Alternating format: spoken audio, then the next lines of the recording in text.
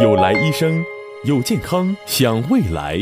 小孩自闭症有什么表现？李一花，郴州市第一人民医院心理科副主任医师。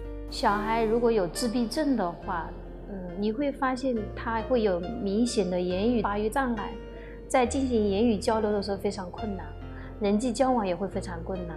主要是与人交往的时候，他不会有情感的表达和目光的对视。在参与游戏的时候，或者某一个物体玩的时候，他会缺乏游戏想象力和物体想象力，做事非常的刻板、呆板，嗯，不能够正常的进行有效的交流。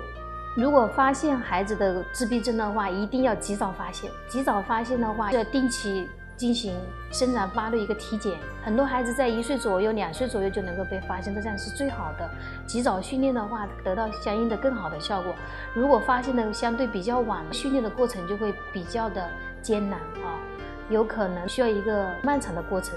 当然，并不是说所有的自闭症的训练都会有效。我们经常会看到一个行为训练了十几、二十遍，甚至上千遍都不可能达到你想要的效果。这时候我们也不能放弃啊！每个孩子都是与众不同的，我们要对他充满爱心和耐心啊，让他也在感受这个世界的温暖和，也能感受我父母的爱和社会的关怀。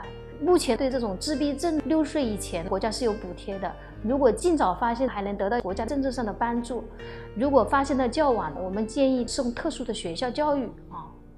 专家提示：儿童自闭症表现为明显的言语发育障碍，如进行言语交流或人际交往较困难，与人交往时无情感表达与目光对视。部分患儿还表现为参与游戏时缺乏游戏想象力与物体想象力，做事刻板、呆板，无正常有效交流能力。